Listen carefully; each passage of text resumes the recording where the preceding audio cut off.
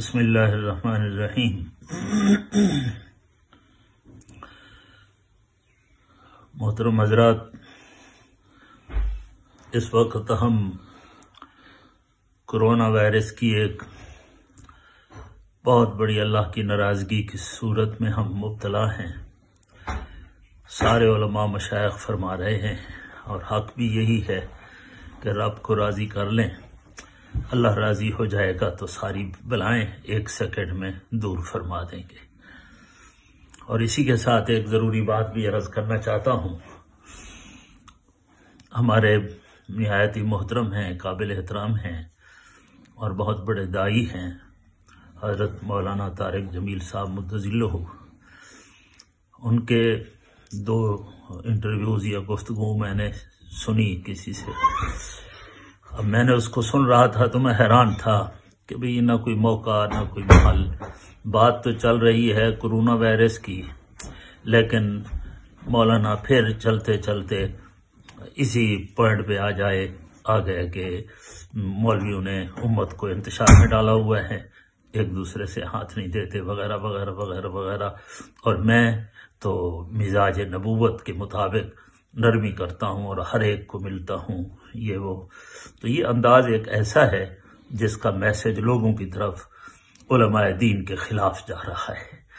یہ ایک تاثر ایسا دیا جا رہا ہے کہ جس سے محسوس ہوتا ہے کہ علماء نے ہی فرقے اور یہ مصیبتیں بنائی ہیں اور ہم تو ماشاءاللہ ایسا نہیں ہے۔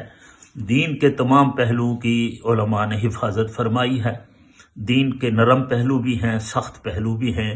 صرف ایک پہلو میں چلا جانا تو یہ بھی مناسب نہیں ہے۔ کوئی سرجری ایسی نہیں ہے، وہ سرجری ہی نہیں ہے کہ جس میں صرف مرہمی مرہم ہو اور آپریشن نہ ہو۔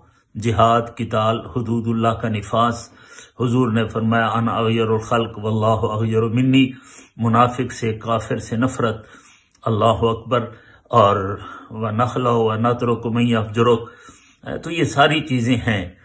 کہ گناہ گار سے نفرت نہیں، گناہ سے تو نفرت ہو۔ اور پھر حق کہنے کے لیے بلا شک حکمرانوں کے پاس جاؤ، حق بھی کہو۔ کوئی پتہ بھی چلے، جیسے مولانا سمیع اللہ نے کر دیا تھا۔ کہہ تو دیا تھا نا اس کے بارے میں۔ تو آپ سے بھی یہی گزارش ہے۔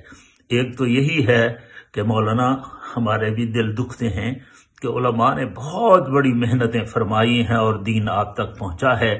مولانا الیاس رحمہ اللہ کی دعوت علماء کی مرہون منت ہے۔ تو آپ حضرات بھی جب بھی باتیں کریں مذہبی مسائل کے بارے میں، یا آپ اپنا ایک اسلام کا ایک نیا ایک انداز دلو لوگوں کے سامنے پیش کریں، تو خدا کے لیے بڑے علماء کرام سے ضرور مشاورت فرما لیا کریں۔ ہم اور آپ شاہ ولی اللہ سے بڑے نہیں ہیں۔ ہمارا مقام، ہم اپنے مقام کو سمجھیں اور اس کے مطابق چلیں۔